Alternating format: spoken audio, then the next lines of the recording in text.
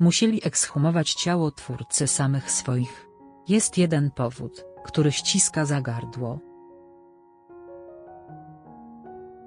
Od śmierci reżysera Sylwestra Chęcińskiego, minęły prawie dwa lata. Tymczasem na cmentarzu grabiszyńskim we Wrocławiu doszło do ekshumacji szczątków twórcy samych swoich. Powód ku temu jest poruszający.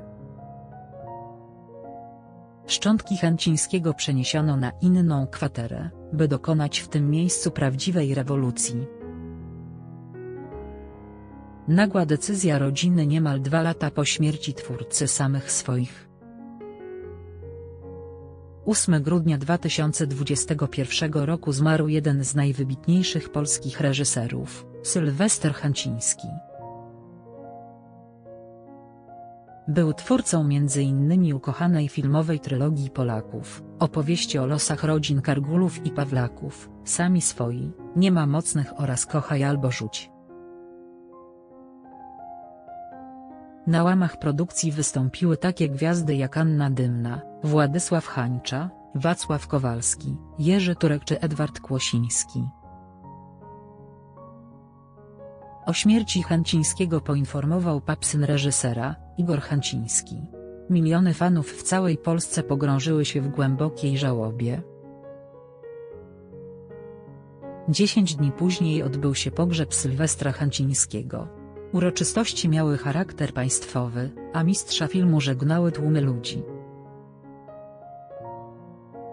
Reżyser został pośmiertnie krzyżem Wielkim Orderu Odrodzenia Polski, a trumna z jego ciałem spoczęła na cmentarzu grabiszyńskim we Wrocławiu.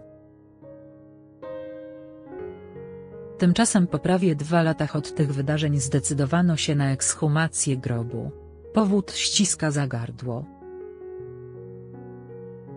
Ekshumacja szczątków twórcy samych swoich.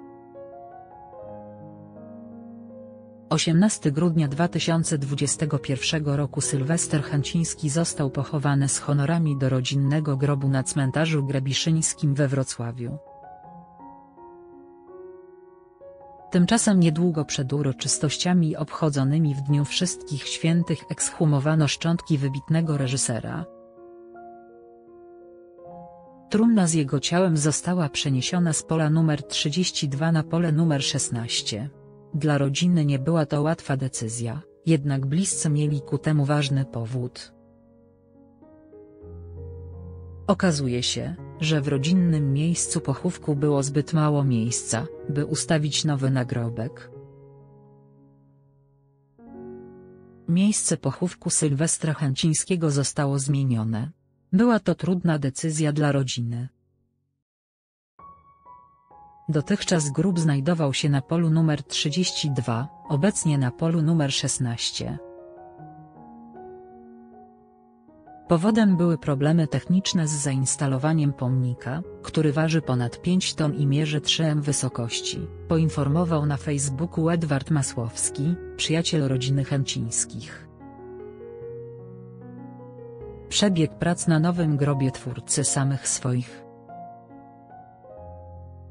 Po tym, jak szczątki Sylwestra Chęcińskiego zostały ekshumowane i przeniesione na inną kwaterę na cmentarzu, mogły ruszyć prace przy ustawianiu pomnika. Rozpoczęły się one na samym początku listopada i potrwają do końca pierwszego tygodnia grudnia. W nowym miejscu pochówku twórcy samych swoich został już wylany fundament żelbetowy.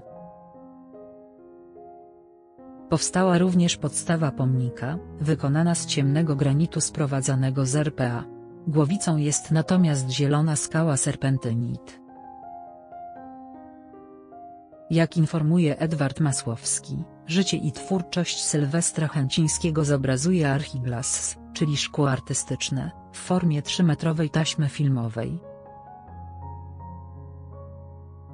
Uroczyste odsłonięcie pomnika odbędzie się w dwa rocznice śmierci Sylwestra Chęcińskiego, 8 grudnia o godzinie 14 na cmentarzu Grabiszyńskim we Wrocławiu.